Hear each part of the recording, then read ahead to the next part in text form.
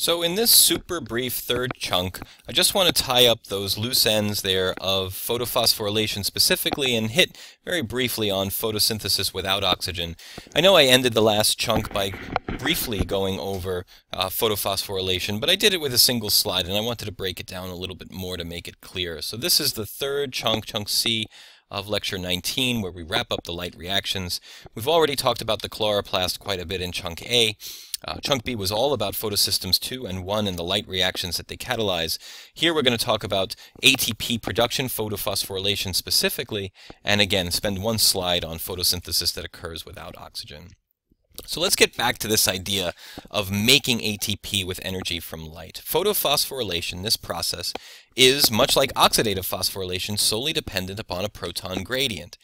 And they've demonstrated this. Scientists have shown this by doing a pretty good experiment. What they did was they took chloroplasts and they soaked them in a solution at a pH of 4 overnight until we had an equilibration.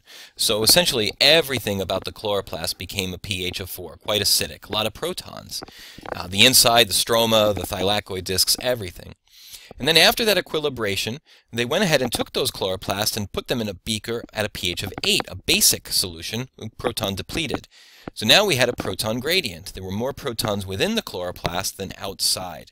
They also added to that reaction mix ADP and inorganic phosphate. And in no time at all, they began to monitor that ATP was being produced. Essentially, as protons followed their concentration gradient from inside the chloroplast and began migrating outside, ATP was produced. And this reaction will occur even in absolute darkness. So it doesn't require sunlight. Yes, sunlight is necessary to establish the proton gradient in the first place. It is energy from the sun that allows protons to be pumped to create a gradient. But once that gradient is established, those protons will flow all on their own and make ATP. We already saw that the oxidation of water not only harvested electrons for charging by photosystem 2 and photosystem 1, not only released molecular oxygen as a byproduct, but also left protons in the lumen. Also, as you might have seen in the diagrams, although I didn't specifically reference it yet, whenever electrons were transported between photosystem 2 and photosystem 1 in that photosynthetic electron transport chain, protons were also pumped, much as they are in the electron transport chain of mitochondria.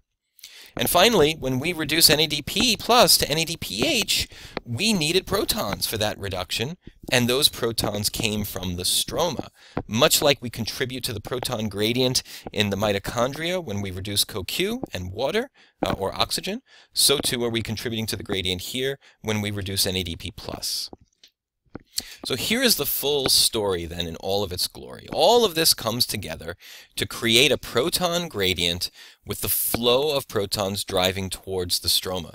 We have protons within the thylakoid disc that want to leave into the stroma of the chloroplast.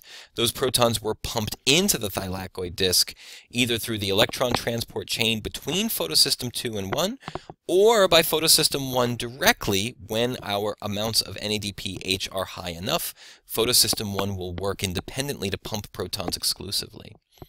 The ATP that's generated when those protons flow through this ATP synthase-like enzyme is the ATP that we will need for the dark reactions, the ATP that will combine with NADPH in order to drive the carbon fixation process. Remember, we left NADPH in the stroma. We're leaving ATP in the stroma uh, here as well, and it's both of those energy sources that will be used for the dark reactions.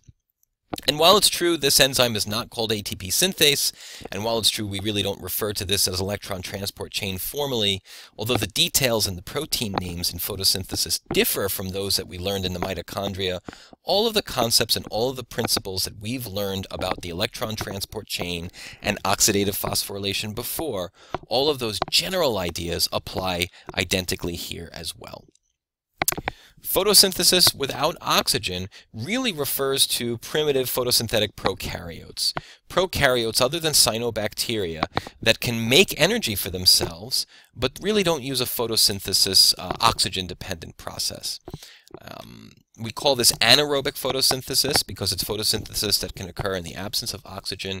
And it's efficient for ATP production, but it really can't be used for uh, making sugars. So that's why we can't really refer to this as true photosynthesis because there's no carbon fixation, there's no dark reactions. So all of the energy created by this mechanism is here and now immediate energy. There's no way to store excess ATP the way that plants can store glucose, and so these photosynthetic bacteria can't really make energy for hard times. They can only make energy in the here and now. Still, though, light energy is what's being used to drive the production of, NAD, of NADPH and ATP. All that we've just discussed for photosystem 1 and 2 still applies. It's just that we can't make glucose. And also, those energy molecules are only used anaerobically because uh, we can't have oxygen around in this process, or oxygen isn't used. And it's only used for anabolism as well because there's really nothing to digest. There's no sugar being created. These organisms often use hydrogen sulfate, H2S, as their source of electrons and protons. Uh, it's more easily oxidized than water. It's easier to strip those electrons off. And so again, if only one photosystem is working, you can oxidize this compound in a way that water can't be oxidized.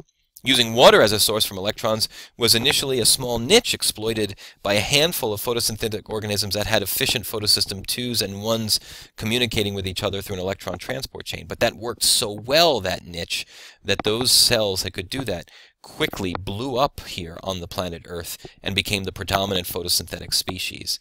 Uh, so look at what had become of that niche now. Almost every photosynthetic organism creates and harvests sunlight energy in this way. So again, just wrapping up loose ends here, talking about how ATP can be made from this system in a process very, very similar to oxidative phosphorylation and ATP synthase in the mitochondria. Really didn't want to cap off the light reaction story with at least giving some um, needed attention to this offshoot of the light reactions. So that's it. We're fully poised to see what happens to carbon dioxide, NADPH, and ATP as we continue the story of photosynthesis and move into the dark reactions in Lecture 20.